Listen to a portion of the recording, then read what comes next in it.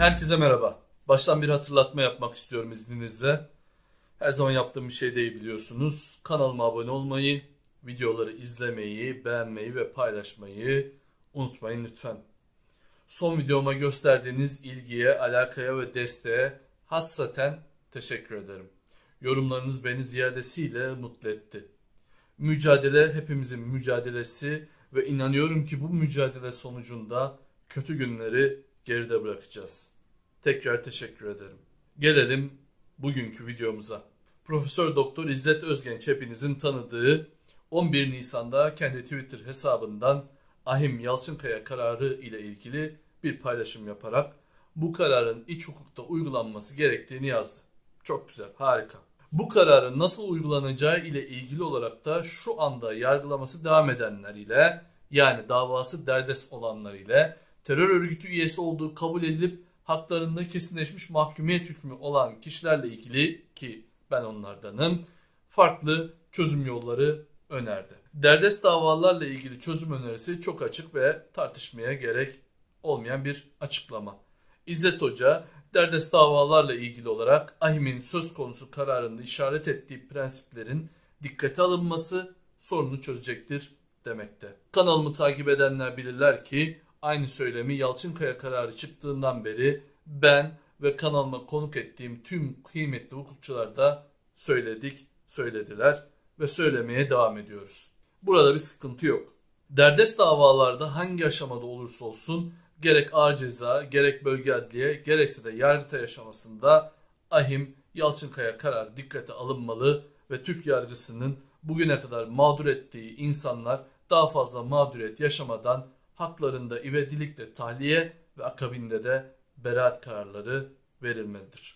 Gelelim hocanın tartışma konusu olan haklarında mahkumiyet hükmü kesinleşmiş terör örgütü üyesi olanlarla ilgili önerisine. Hoca tweetinde Ahim'in hak ihlali kararının sadece ilgili başvurucu bakımından yargılamanın yenilenmesi sebebini oluşturacağını söylemekte. Yani somut olayda yargılamanın yenilenmesinden sadece Yüksel Yalçınkaya'nın yararlanabileceğini ifade etmiştir. Hoca bu kişiler için çözüm önerisi olarak da haklarında mahkumiyet kararı kesinleşmiş olan kişilerin yargılamanın yenilenmesine başvurabilmesi için kanuni bir düzenlemeye ihtiyaç olduğunu ve bu düzenlemenin de 9. yargı paketinde yapılması gerektiğini de eklemiştir. Hocanın rejimin yargısına sıkıştığı her defasında can suyu olan önerisi ile tahmin ediyorum birilerini rahatlatmış olabilir. Hocaya sormak lazım. Bugüne kadar mevcut iktidar bu masumların hayatını kolaylaştıracak ya da daha net ifadeyle söyleyeyim gasp edilmiş haklarını iade edecek, özgürlüklerine kavuşturacak hangi yasal düzenleme yapmıştır ki şimdi bunu tırnak içinde söylüyorum bu iyiliği yapsın. 8. yargı paketi Yalçınkaya kararından sonra çıktı. O zaman çok rahat yasal bir düzenleme yapabilirlerdi. Neden yapmadılar? Ellerinden tutan mı oldu ki yapmadılar? Daha birkaç ay önce Aralık ayında DEM Parti Milletvekili Sayın Ömer Faruk Gergerlioğlu'nun o hal döneminde çıkartılmış olan KYK'ların kaldırılmasına ilişkin kanun teklifi AKP, MHP ve İyi Parti'nin oylarıyla reddedilirken CHP çekimser kalmışken bu meclis lehimize yasal bir düzenleme yapacak öyle mi? Bu mücadeleyi sizi siyasetten medet bekleyerek yapamayız. Zaten şimdiye kadar haklarımızın iade edilmemesinin sebebi siyasetten ve siyasetçilerden medet beklememiz değil midir? Kendi göbek bağımızı kendimiz kesmemiz gerekiyor. Hukuk mücadelesi ve sosyal medya baskısıyla ancak bir şeyleri harekete geçirebilir, düzeltebiliriz.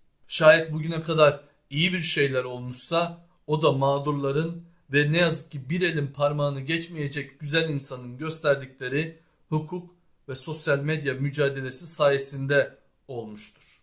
Peki gerçekten mağdurların Yalçınkaya kararını emsal göstererek yeniden yargılama talep etmesi mümkün değil midir? Bununla ilgili birkaç yasa maddesine bakmanın konuyu anlamak açısından önemli olduğunu düşünüyorum. Sizi bu kanun maddelerine boğmamak için bu maddelerin ne anlama geldiğini açıklamaya çalışayım.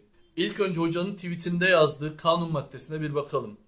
CMK 311 1 F fıkrası.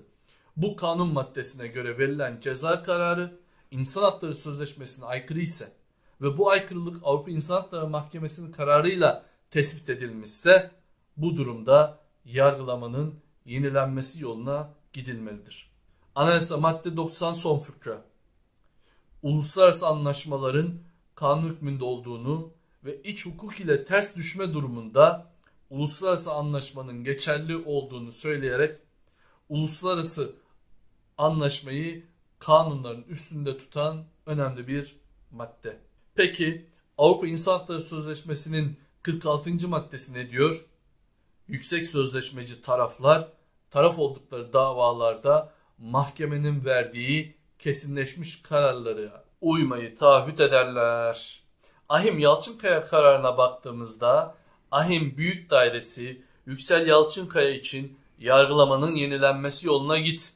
Önümdeki 8 bin ve gelecek muhtemel 100 bin dosya içinde gerekli adımları at, iştihadını değiştir diyor. Aslında yeniden yargılama yolunu göstererek Yalçınkaya kararı üzerinden göstererek ne yapılacağını da göstermiş oluyor bir anlamda. İşleme aldığı ilk bin dosyadan hükümetten savunma istememesi de bunun en bariz örneği olarak karşımıza çıkıyor. Sadece bununla da kalmayalım. Daha önceki videolarımda da bahsetmiştim. Anayasa Mahkemesi'nin verdiği İbrahim Er kararı var. Bu kararda Anayasa Mahkemesi kısaca mahkemenin verdiği ihlal kararları sadece başvuranı bağlamaz, ilgili herkesi de bağlayacaktır der. Benzer durumlar için bireysel başvuru yoluyla bana gelip iş yükümü artırmayın, verdiğim kararı uygulayın demiştir Anayasa Mahkemesi. Avrupa İnsan Hakları Sözleşmesi, anayasa ve Türk Ceza Kanunu gibi tüm bu yasal düzenlemeler ortadayken, Anayasa Mahkemesi'nin verdiği İbrahim Er kararı ortadayken, bu konuda yasal düzenleme ya da iştihat yok demek, sadece bu durumdan Yüksel Yalçınkaya'nın kendisi yararlanır demek hukuki olmayacaktır diye düşünüyorum. Tüm bunları söylerken yasal düzenleme yapılmasın gibi bir söylemim yok. Kesinlikle yanlış anlaşılmasın. Mağdurların hayatını kolaylaştıracak her türlü düzenleme benim için uygundur. En kolay çözüm yolu bu da olabilir. Benim itiraz ettiğim nokta Sayın Özgenc'in yargılamanın yenilenmesinden sadece Yalçınkaya'nın kendisi yararlanabilir açıklamasınadır. Bu açıklama yargılamanın yenilenmesi başvurularına red kararı veren ağır ceza mahkemelerinin elini güçlendirecektir. Şimdi tekrar soruyorum Özgenç Hoca'ya. Bu konuda yasal düzenleme yapılmazsa ki iktidarın bu zamana kadarki tavrından böyle bir yasal düzenlemeye tevessül edeceğini düşünmüyorum. Yasal düzenleme yapılmazsa haklarında karar kesinleşmiş olanlar ne yapacaklar? Ahim'den kendi başvuruları sonucu çıkana kadar bekleyecekler mi?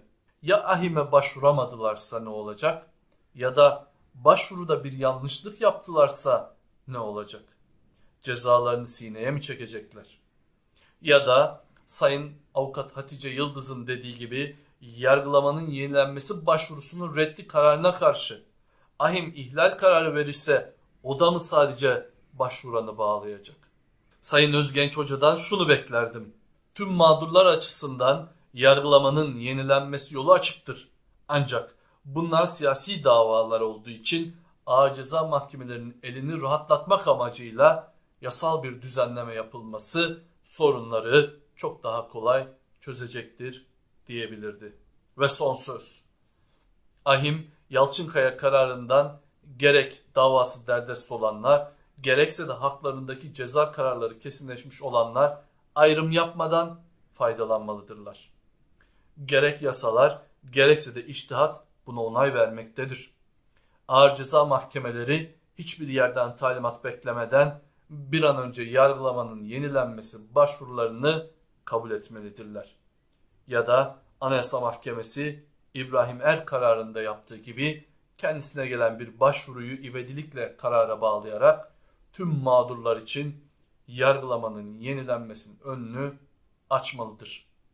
Doğru, vicdanlı ve hukuki olan da budur ve selam.